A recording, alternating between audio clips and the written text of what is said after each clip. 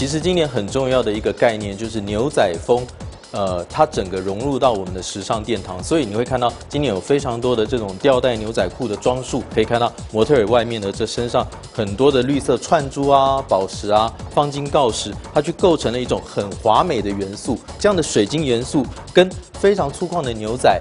混合在一起的时候是有一种特殊的风格。那再来就是另外我要推荐的是今年的饰品很重要了。今年因为春夏的关系，你不可能穿太多的服装在身上，所以你要利用非常多大型的水晶、大型的串珠、大型的颜色，比方说这种有点透明的亮黄色跟橘红色去做一个混搭的时候，你的身上就会有非常多超过三种以上的颜色。可是三种以上的颜色呢不会突兀的原因是因为我们有一个基调的颜色去做一个打底。然后再底下的部分呢，今年如果女人想要投资一个一双很漂亮的包鞋，不妨投资类似像 miu miu 这种，把所有的串珠呢都放在这个鞋子上面的。如果女生喜欢很华美的感觉，但是又要兼顾俏丽的感觉的话，这样的风格是一个不错的选择。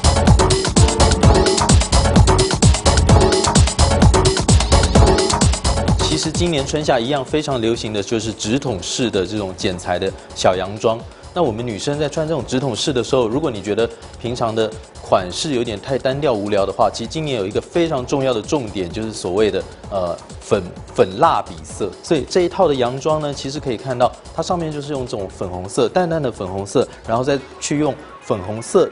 差异性不大的各种层次，比方说有一点点酒红啦，一点点正红去做一个呃所谓的互相的搭配哦。那另外就是艺术彩的拼接很重要了，大家可以看到 B B 身上的这种非常精湛的流苏，它流苏完全是不规则的。比方说在胸线的地方，它用大面积的流苏；可到了腰线的地方呢，跟下摆的地方，它是非常不规律的去排列组合。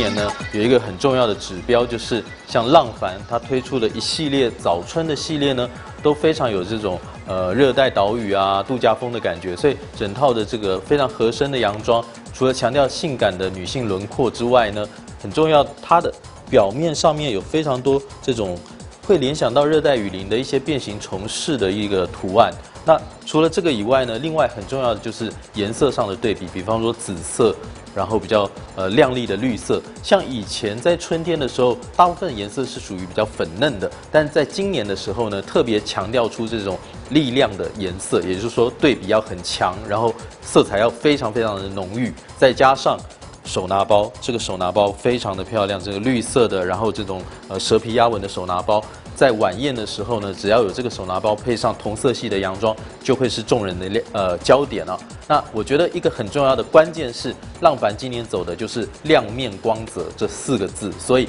包括手拿包，包括他的鞋子，高跟的这银色高跟鞋，然后呢，再加上他其他的礼服呢，也都是非常亮丽、非常有光泽感的。花样的洋装要怎么穿才大气呢？不妨可以看看这个 Dolce Gabbana 哦，它上面有很多的红色的这个杏花，杏花树的杏花，然后再加上呢很多这种属于当地的民族才会使用的，在那种古古早的钱币上面的图案，然后还有一些是彩绘的这种呃陶器上面的图案呢，它都把它放到整个洋装上面。女生在选择这种洋装的时候，其实她自己的这个。呃，腰部的曲线呢，已经做得很出来了，所以她的胸腰臀的比例呢，可以让女生展现的非常好的姿态。那特别是今年，大家可以看到，我们女人我最大拍了这么多个呃造型，居然有一半以上是平底鞋，所以记住了，低跟鞋跟平底鞋真的是今年非常重要的元素。